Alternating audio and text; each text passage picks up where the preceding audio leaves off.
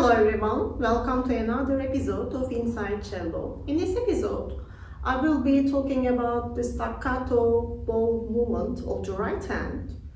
And to do that, I will try to give recommendations on how we can practice and perform the Locatelli Sonata in D major. Before I start giving recommendations on the Locatelli Sonata, I want to explain the staccato bow movement of the right hand. Staccato movement of the bow hand includes um, semicircle motions like this, to the left or to the right. If I am doing up bow, I do the circle towards left. Here, semicircle. If I am doing the staccato bow motion on bow, I use the semicircle towards right. And that semicircles are always connected to each other. Let's try it with the bow. Yes, I'm doing semicircles. To the right, it's down bow. Now I'm doing semicircles to the left, it's up bow.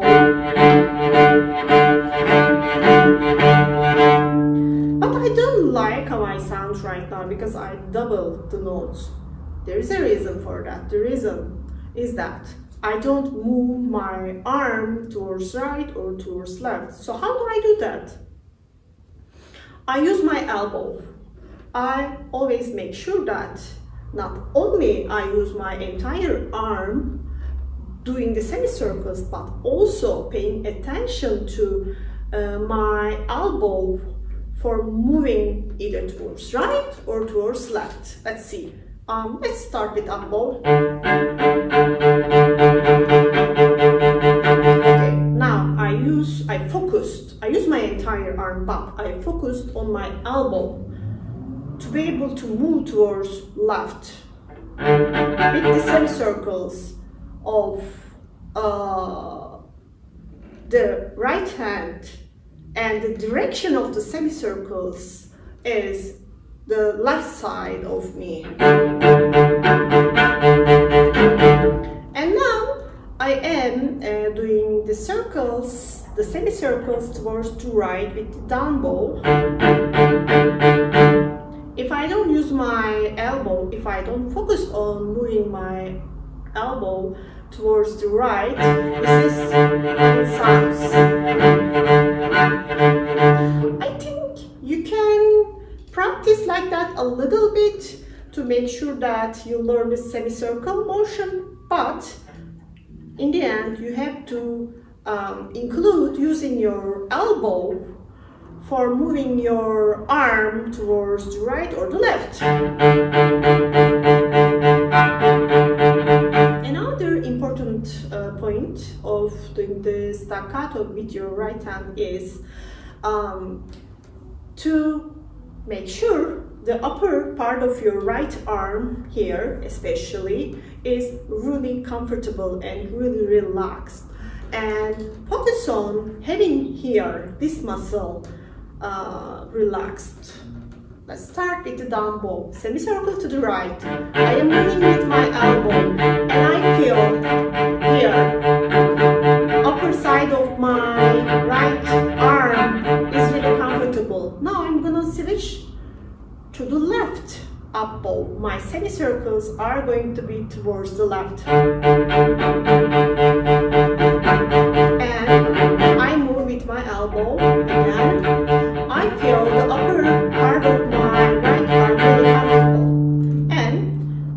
course I can't exclude my fingers.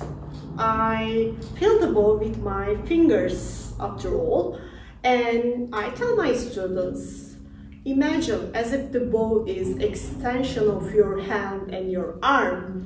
So uh, hold your bow in a way that it feels like it is part of your body. So is it harder to make those uh, gestures fast? No, it's not. You have to work on it um, at a slow tempo and you have to succeed in each step. First step is to be able to make this semicircle motion to the right or to the left with your right arm to the right it is down bow. To the left is up bow. Let's see. To the right, to the left. Don't double each note we play.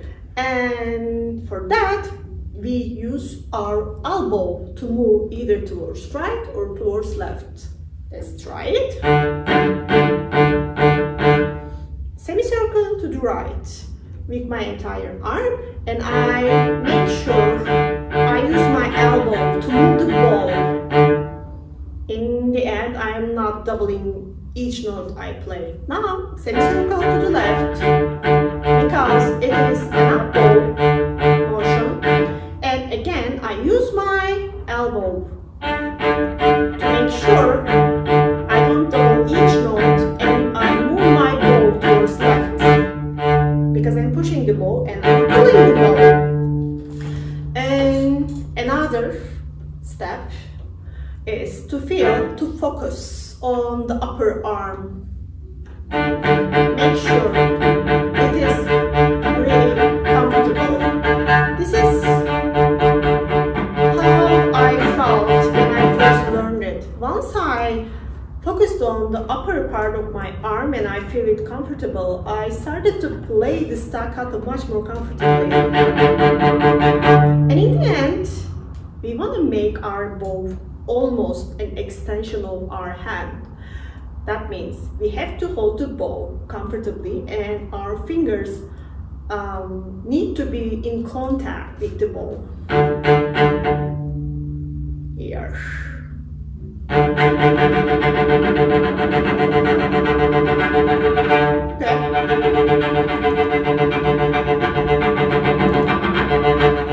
It is really not that hard to do that in a fast tempo. As I told you before, if you do it in a slow tempo and each step I told you is completed and you're comfortable with completing the each step you need to learn, in time you will realize that staccato bow motion is really uh, not as hard as you think it is. Let's see.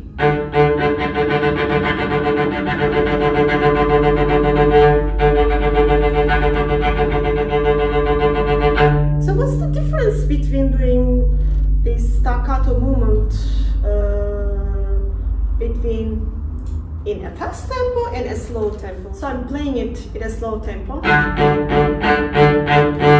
I'm doing it in a fast tempo. I think you teach it to your muscles. So I really don't think I can think fast enough to say to myself, okay, circle to the left, and your arm is very comfortable, your upper arm. There is no way I can think that way as I'm playing. But if you practice in a slow tempo, uh, in the uh, way it is supposed to be, in the fast tempo, you will be able to play it without even thinking about it.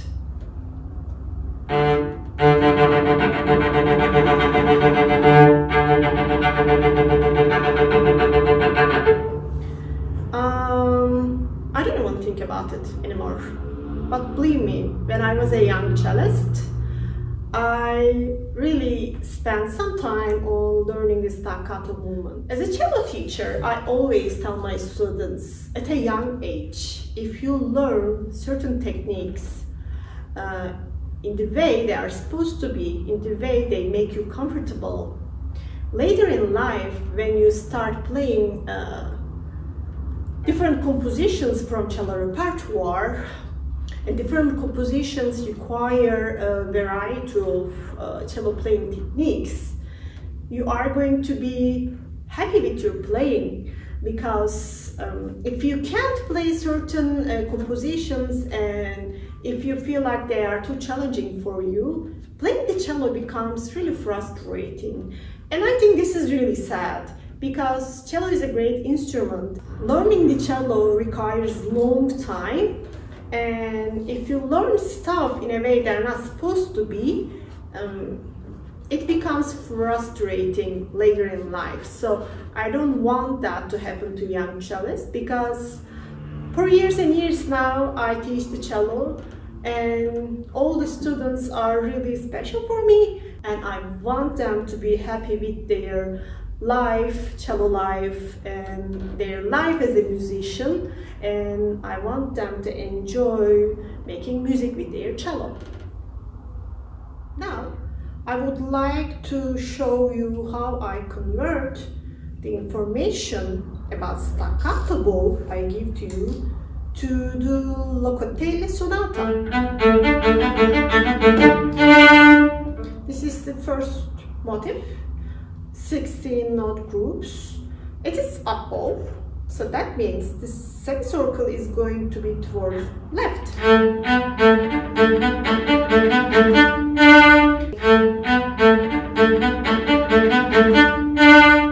One more thing, I am focusing on the upper side of my right arm and I feel it really, really relaxed.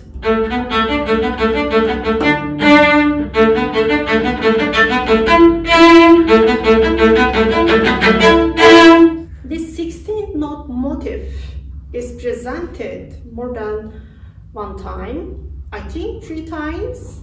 So each time I want to do crescendo. The first one, the first group of the 16 note figure is on the upper part of the bow, one fourth of the bow I try to use.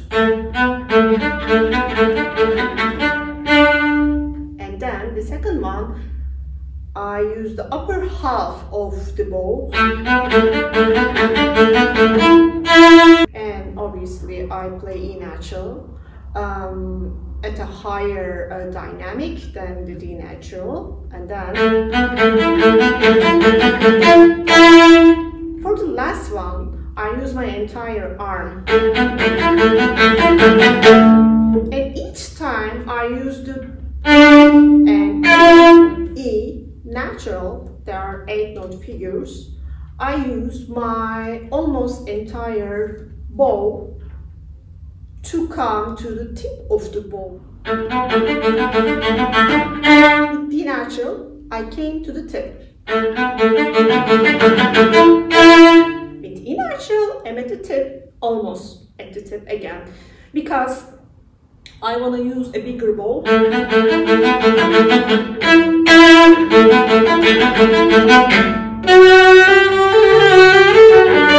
Here, there's a trill. Trill is the climactic moment of this sentence, and it is at the frog.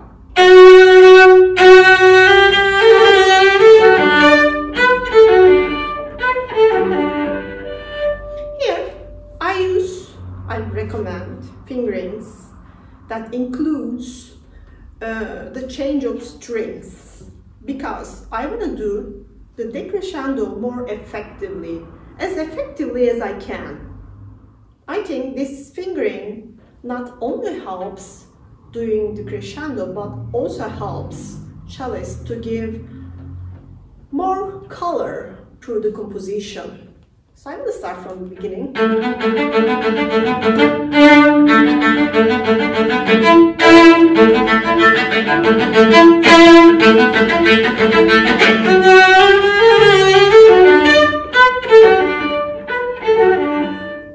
Then comes the forte part.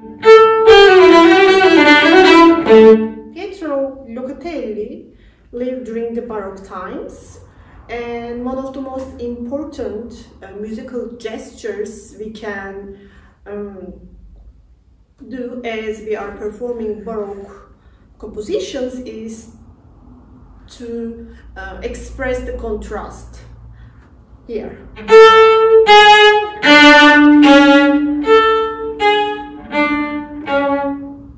So there's a difference between piano and forte and I wanna emphasize it uh, because it's a Baroque composition and in this sonata, especially in the first movement, you're gonna hear a lot of examples of that. So the same motif, melodic line is performed twice successively. So how we can do it um, more interesting? This is the first one. I use the entire bow and I'm on the A string. So for the second one, I stay at the tip and not only I use the D string, the second string, but also I use piano dynamic.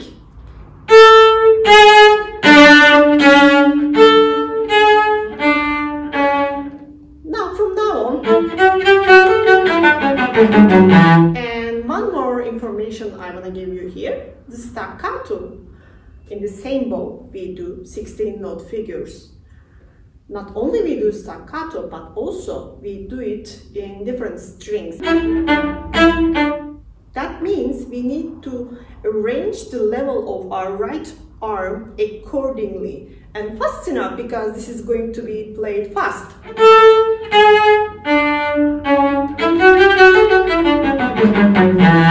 Here we do crescendo.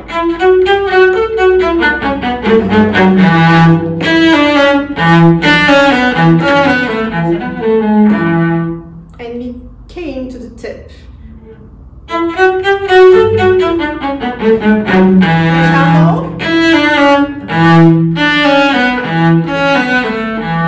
Each up bow of E natural is with the crescendo.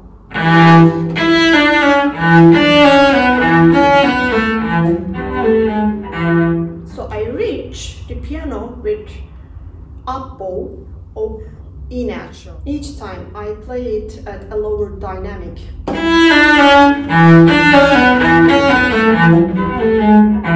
Now, the piano part is down and it is piano.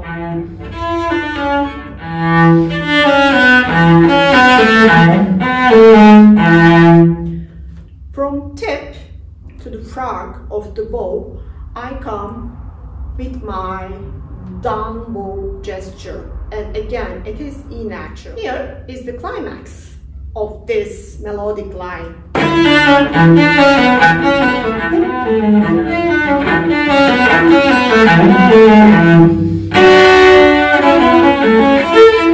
I'm going to play piano because it's Baroque. And as I play in piano dynamic, I try to come to the tip of the bow because there is going to be a staccato motif and it is going to be up bow. To be able to do that up bow staccato motif, I need to have enough bow which brings me to the tip of the bow.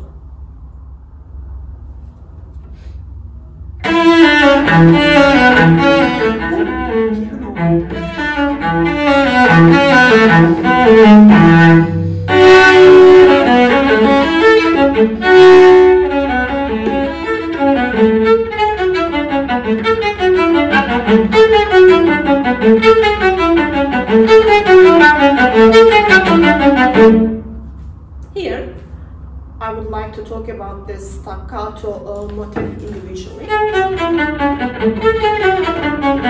See, I made a mistake because I did my semicircles, but I didn't move towards left fast enough. And I doubled some of the notes, which is a mistake and I don't want to hear that. So I'm going to be more careful.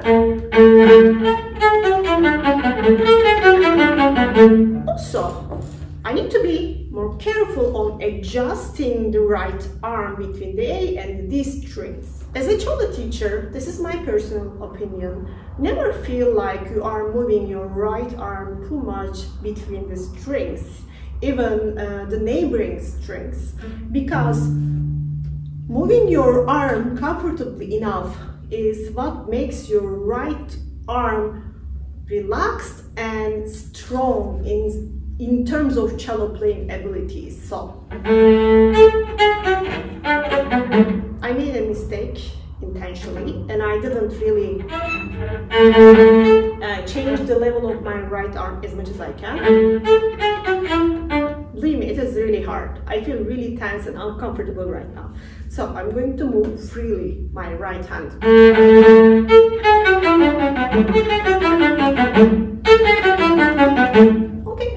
Much better. Um, I hope I played much better.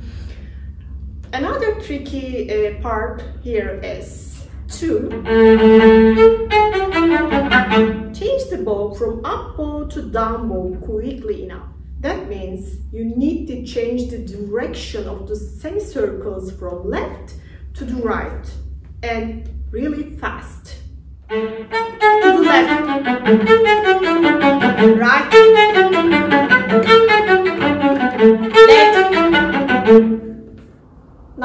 Let's the entirety.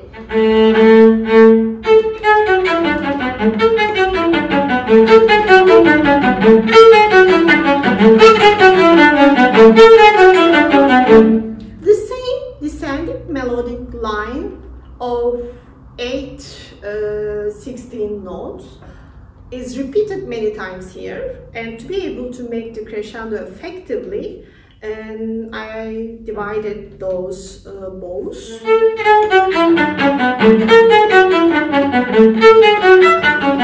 And now I use a bigger bow here. And here I even separated those. Another uh, part uh, that is kind of scary for the young cellist is here. to me, yes, thumb position, playing a natural here, mm. thumb position is not that easy. But once you get used to it and you put your hand in one position and never change it, never rearrange it as you are on this position, you will find out that it is really not that hard. And I still couldn't play it.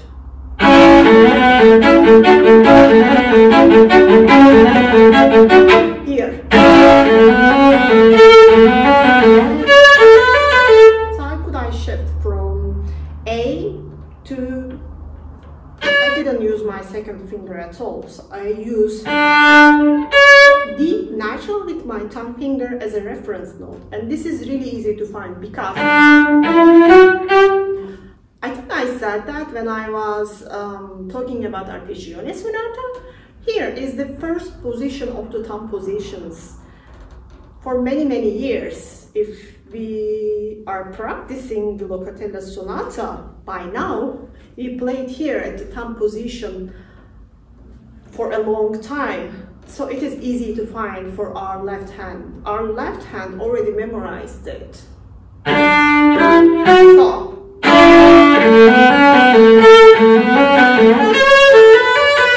and I guess my left hand didn't memorize it. I played out of tune. I'm sorry about that. And with the shift here, your left hand needs to go before your right hand, meaning um,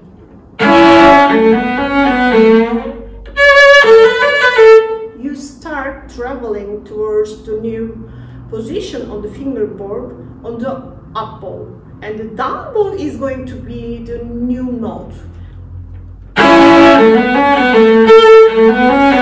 and each down bow use a big bow because you are going to play I think six 16 notes in one up bow and one 16 note in a down bow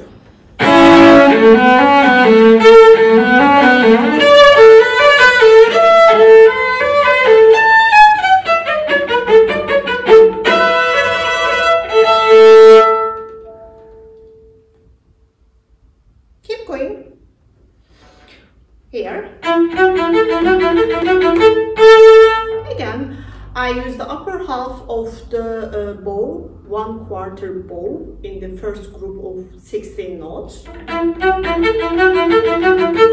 With A natural, I come to the tip because uh, the second grouping will be with a bigger bow. Now I'm going to use even bigger bow.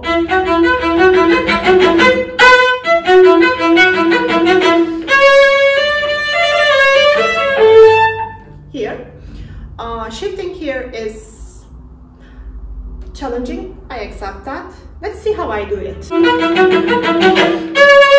Okay, between E, I shift when I don't use my bow on the string. So I shift during the offbeat. I know it is hard to imagine you're playing in a fast tempo, you're playing a 16 note passage. But when the practice is slow and you use the mm, off time of each note, your left hand learns uh, when to shift between the position of the fingerboard of the cello in the right time, even in fast music.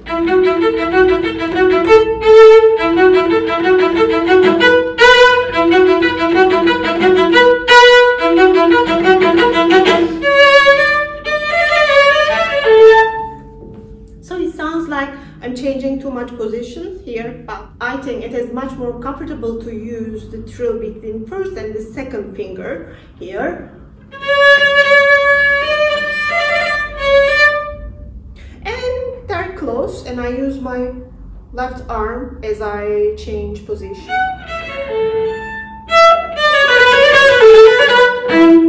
Another tricky shift here. And of course, E natural and D natural. First finger E natural, third finger D natural.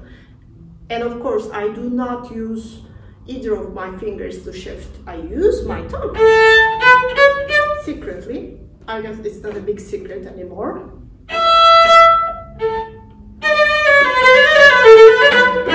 Again, as I always say, this is the first position of the thumb positions.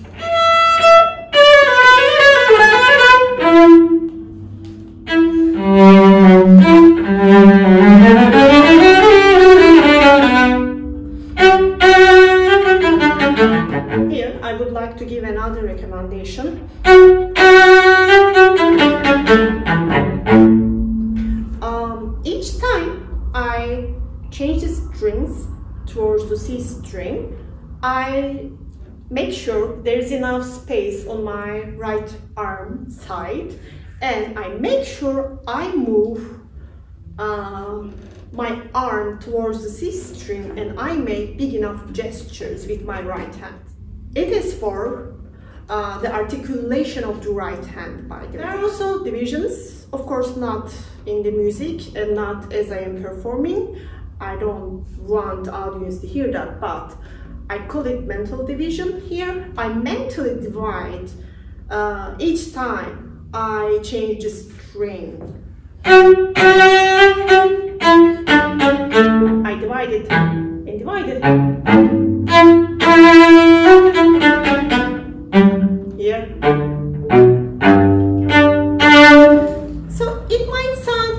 Complicated in a fast tempo how I can do that and believe me uh, if you practice that way at a slow tempo you do it without even thinking in a fast tempo in the actual tempo of uh, the composition and it makes everything much easier.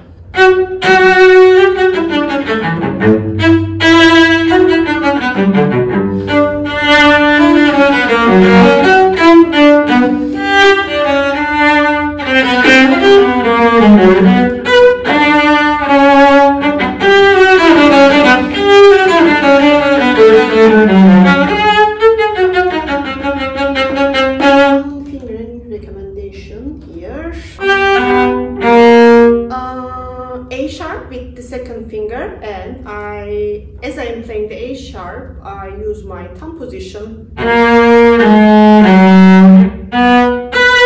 And of course I shift with my thumb finger before the bow here. And the point I put my thumb on the D string is when I am still playing the A sharp.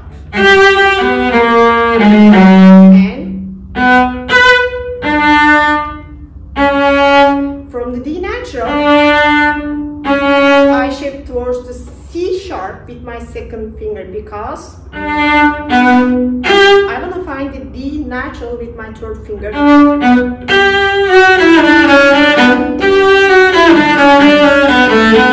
Here,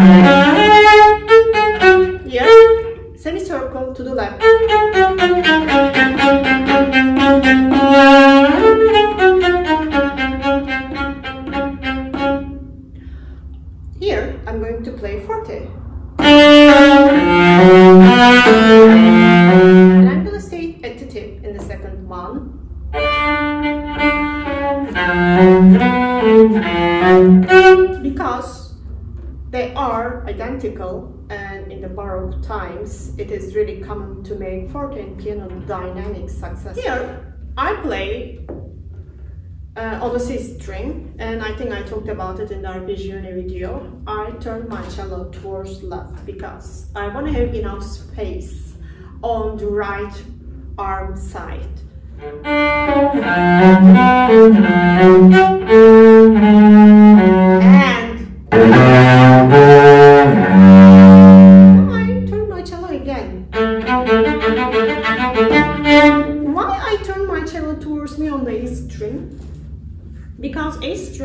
string furthest from me. It's not that far, I'm just exaggerating to explain. To be able to play more comfortably on the A string, I turn my cello towards myself on the A string. And here Locatelli starts. One more tip I want to give about this uh, very first 16 note groups. Start from the string.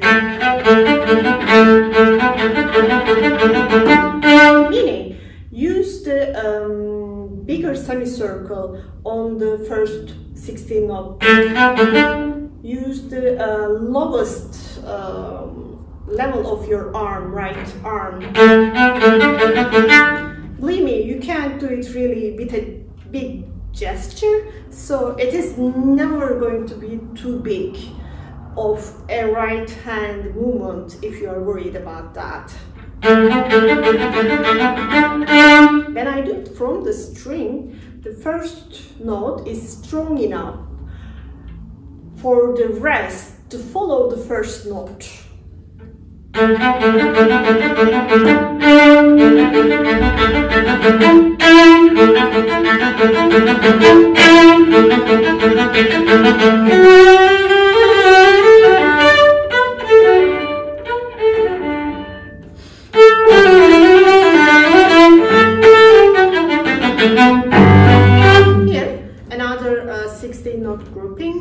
staccato movement requires lots of movement on the right hand adjusted according to the level of the string.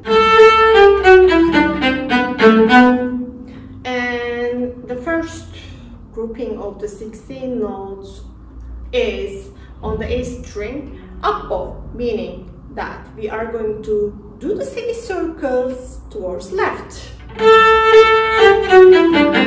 so why do I start here with a down bow at the tip? Because I have lots of 16 note figures to go and I need a bigger bow. Let's see, see if I can make it. No, I can't. Hmm. No, it's really hard to do that. So I'm at the tip. Up and and from the string. Gesture of the staccato with my right hand on the F sharp. And here, to the right, I make a semicircle with my right arm because I really changed the level of my arm between the strings of the cello um, quickly and at a big distance. Here, in the last 16 notes, I changed the bow, meaning that to the left, I to the left with the circle, I need to really uh, lower the height of my hand.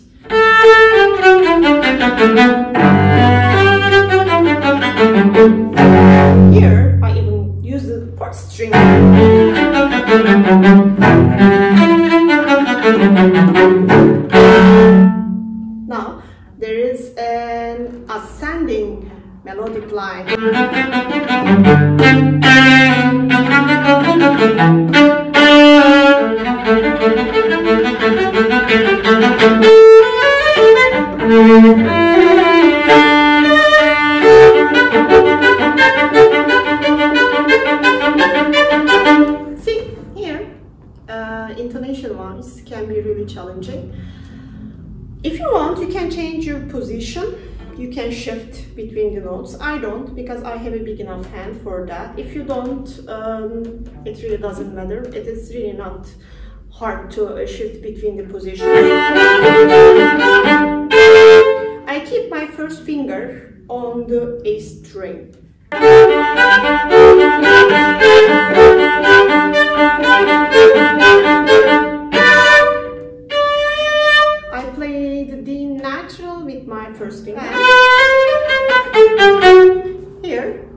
There is a shift between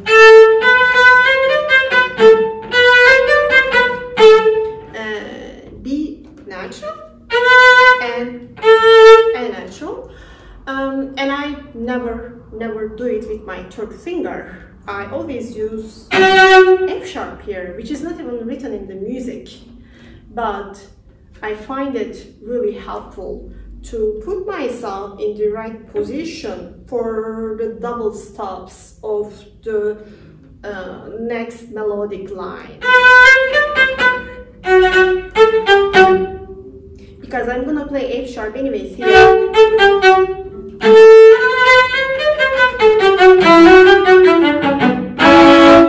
With playing F sharp with my first finger and using it as a reference note helps me find the E natural.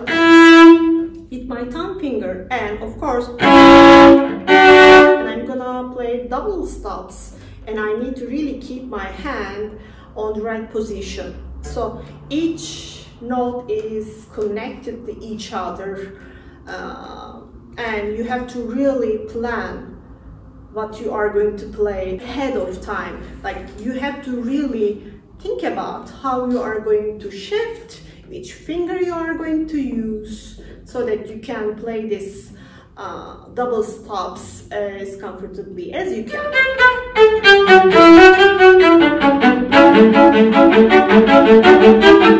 Again, I keep my first finger on the string. You can shift if you want. I don't. I don't need to. But if you need to, there's nothing wrong with that. And the second one I play piano, so I guess I need to play the first one uh, at a bigger dynamic. I'll do my best.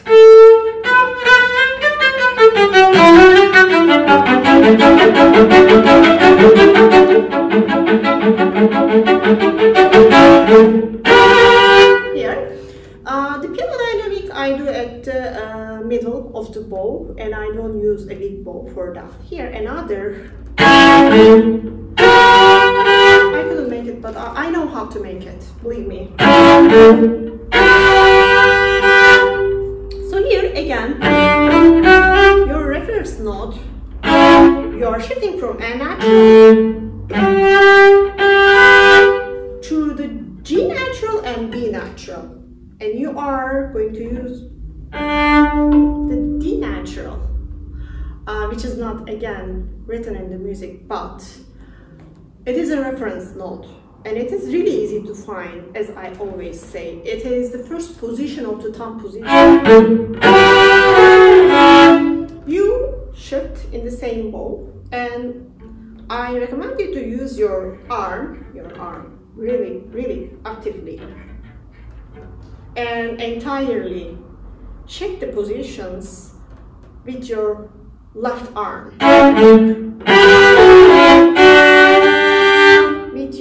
first finger. You can play it.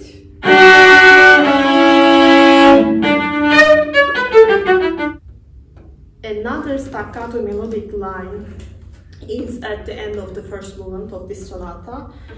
And this staccato movement is, I think, the essential uh, motif of the melodic lines used in the sonata. I uh, do it from the string, meaning that I do the first 16 notes with my arm with a strong and big gesture so that I can um, gather enough strength for the upcoming 16 note figures.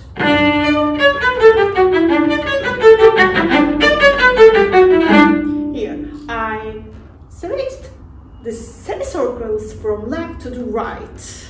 On time, fast enough. Again.